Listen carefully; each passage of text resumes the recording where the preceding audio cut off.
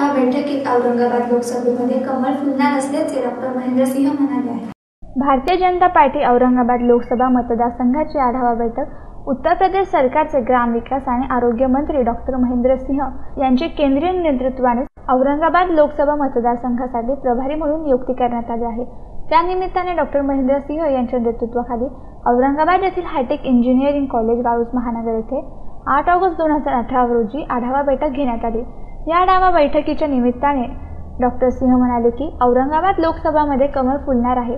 त्यासाठी जनतेचा पूर्ण पाठिंबा आम्हाला आहे. असे चित्र सध्या औरंगाबादमध्ये दिसून येत आहे.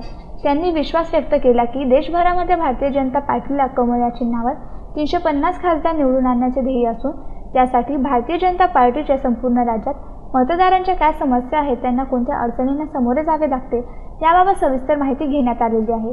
त्याचबरोबर सरकारच्या विविध विकास योजनांची माहिती जनसामान्यांपर्यंत पोहोचविण्याचे काम भारतीय जनता पार्टीच्या वतीने करण्यात येत आहे.